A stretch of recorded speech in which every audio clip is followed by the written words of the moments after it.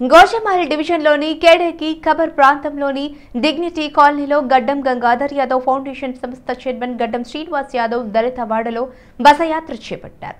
MLC Prabhakar Rao Ala Purushottam Rao రామచంద్రరావులతో కలిసి బసయాత్ర చేపట్టారు.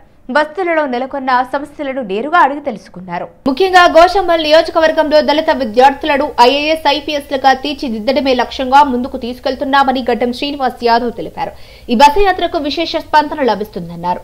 పోటీ పరీక్షల్లో పాల్గొనే అభ్యర్థులకు ఉచిత శిక్షణ అందిస్తున్నామని చెప్పారు. ఐదవ విడత బస యాత్ర ద్వారా వెయ్యి మంది విద్యార్థులకు ఉచిత విద్యను అందించేందుకు కృషి చేస్తున్నామని ఈ సందర్భంగా తెలియజేశారు. ఉచితంగా విద్యను అందించాలి అదేవిధంగా ఉపాధి లేని వారికి ఉపాధి కల్పించాలి. ఇది గత సుమారు మూడు మాసాల నుంచి గోషామ నియోజకవర్గంలో కొనసాగుతూ ఉంది.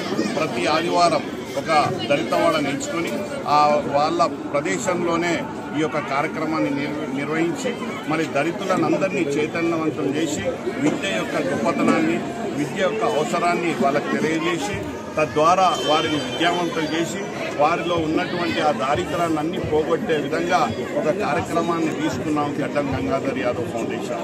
మరి ఆ కార్యక్రమంలో అందరినీ భాగస్వామ్యం చేస్తూ ఉన్నాం. దళితులను అనగారిన వర్గాలను బడుగులను బలహీనులను అందరినీ ఈ యొక్క కార్యక్రమంలో ఈ యజ్ఞంలో పాల్గొమ్మంటున్నాం. ఈ యజ్ఞంలో మరి అందరూ నిష్ణార్థులు కావాల్సిన అవసరం ఉన్నది. ఎందుకనంటే ఇవాళ విద్యతోనే మన దారిద్రాన్ని అన్ని పోగొట్టవచ్చు.